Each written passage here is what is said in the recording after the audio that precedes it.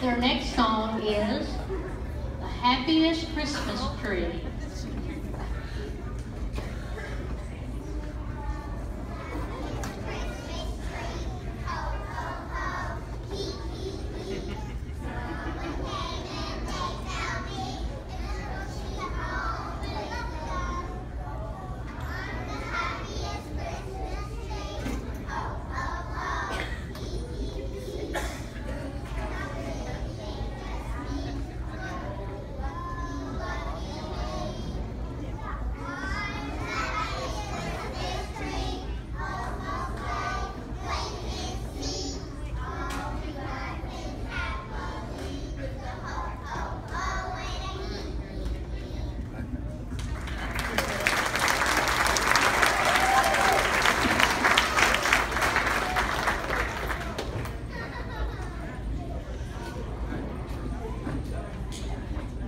Good job.